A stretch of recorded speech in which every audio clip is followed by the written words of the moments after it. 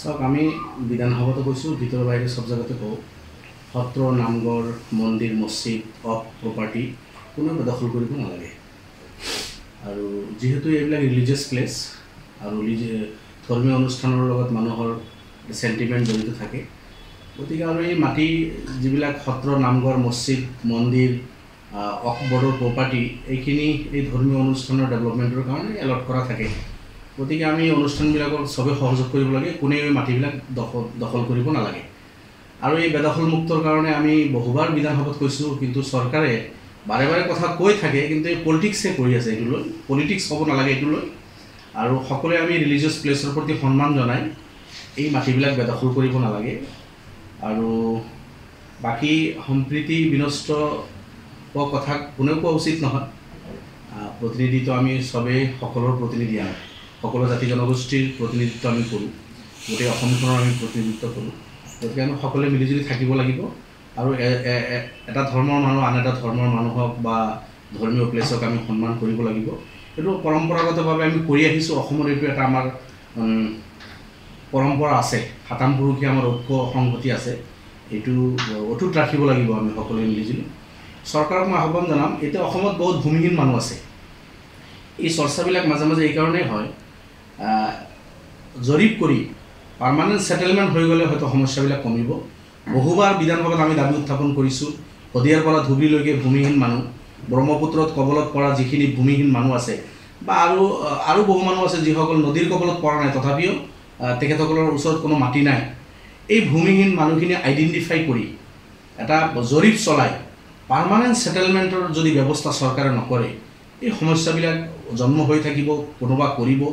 গতিকে মই চৰকাৰৰ ওচৰত এইটো দাবী থাকিল যে চৰকাৰে এটা ইনিচিয়েটিভ লৈছে কিন্তু অকল কেইখনমান জিলাত কৰিলে নহ'ব।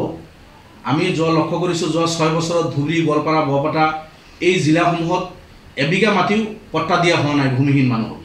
গতিকে অতি সোনকালে এই ভূমিহীন মানুহ নদীভাঙা মানুহ বেকী ব্ৰহ্মপুত্ৰ আই মানা গৰাখহনীয়াত পৰা মানুহ বা আৰু আপাৰ আছামৰ পৰা আৰম্ভ কৰি লৱাৰ আছামলৈকে এই মানুহখিনিৰ ব্যৱস্থা চৰকাৰে পাৰ্মানেণ্ট এটা ছেটেলমেণ্টৰ ব্যৱস্থা কৰিব লাগে। বাকী যি ধৰ্মীয় অনুষ্ঠান আছে এই মাটিবিলাকো আমাৰ জনগণে এৰিব লাগে। এৰি দিব লাগে। ধৰ্মীয় অনুষ্ঠানৰ মাটি কোনেও দখল কৰিব নালাগে।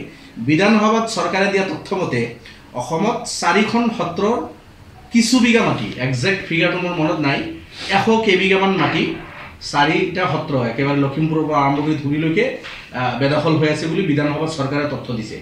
গতিকে চব চব সত্ৰৰ বা মছজিদ মন্দিৰৰ মাটি যে বেদখল হৈ আছে তেনেকুৱাও নহয়। চৰকাৰে এইটো লৈ পলিটিক্স কৰিব নালাগে আমি প্ৰতিনিধিসকলেও এইটো লৈ পলিটিক্স কৰিব নালাগে।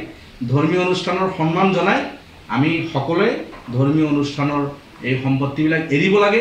হয় ভূমিহীন মানুহখিনিক পেৰালালি চৰকাৰে তেখেতসকলৰ মাটিৰ বন্দোবস্ত কৰি থকাৰ ব্যৱস্থা কৰি দিব লাগে। তেনেকুৱা এতিয়ালৈকে কোনো আলোচনা হোৱা নাই। আমাৰ লগতো বহুকেইজনে যোগাযোগ কৰি আছে। মই আগতে আপোনালোকক কৈছোঁ যে কংগ্ৰেছৰ কেইবাজন বিধায়ক একাধিক এজনতকৈ অধিক বিধায়কে এ আই ইউ লগত যোগাযোগ কৰি আছে কিন্তু অফিচিয়েলি আলোচনা এতিয়া কাৰো লগত হোৱা নাই। আৰু নাম মই আগতে কৈছোঁ যে এতিয়ালৈকে নাম কোৱাৰ সময় হোৱা নাই। যেতিয়ালৈকে সেই আলোচনাবিলাক সম্পূৰ্ণ হ'ব কোনজন হয় তেতিয়া নামো কম আপোনালোকক সময়ো কম তেখেতসকলে কি সিদ্ধান্ত ল'ব সেই বিষয়ে কম এতিয়া তেখেতে কংগ্ৰেছৰ বিধায়ক এতিয়া কংগ্ৰেছে এইখিনি জব দিব পাৰিব ভালদৰে।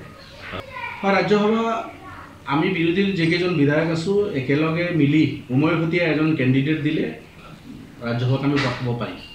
আৰু সেই কথাটো আমি আৰম্ভণিৰ পৰা কৈ আছোঁ যে Congress A I D F C P M আৰু ৰাইজৰ দল অখিল গগৈ ডাঙৰীয়া চাৰিটা পাৰ্টীৰ লিডাৰসকল বহি মিলি উমৈহতীয়া এজন কেণ্ডিডেট প্ৰক্ষেপ কৰিলে আমি নিশ্চিতভাৱে ৰাজ্যসভালৈ পঠাব পাৰিম আৰু পঠোৱাৰ প্ৰয়োজন আছে বুলি মই ভাবোঁ। অসম আৰু অসমীয়াৰ স্বাৰ্থত কথা কোৱাৰ কাৰণে এজন যোগ্য মানুহ ৰাজ্যসভাত পঠাব লাগে এই চাৰিটা দল মিলি। হয় আমাৰ দলৰ পৰা মই আৰম্ভণিৰ পৰা কৈ আছোঁ মই এতিয়াও সেই কথাটোৱে ৰিপিট কৰিছোঁ। যে ৰাজ্যসভাত এ আই ডি এফ দলৰ কোনো প্ৰতিনিধি নাই।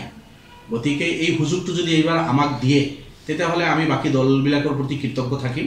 আমি ধন্যবাদ জ্ঞাপন কৰিম তেখেতসকলক। ৰাজ্যসভাত এজন আমাৰ সদস্য গ'লে অসমৰ স্বাৰ্থত নিশ্চয় মাত মাতিব। ৰজা, ৰাজতন্ত্ৰত আমাৰ নহয়। ৰজা বুলিলে কোনেও নাই, কিন্তু কোনোবা যদি এচাম মানুহে এতিয়া দিল্লীৰ পৰা আৰম্ভ কৰি আপোনালোকে চাব মানে এনেকুৱা লাগে কেতিয়াবা যে আকৌ ৰাজতন্ত্ৰৰ ফালে গুচি গৈ আছে নেকি ভাৰতবৰ্ষখন। মোদী চৰকাৰৰ এই কাৰ্যকালত ক'ৰবাত আকৌ আমি তেনেকৈ সোমাই গৈ আছোঁ নেকি? আহ, তেনেকুৱা হ'ব নালাগে। আইন সকলৰ কাৰণে সমান।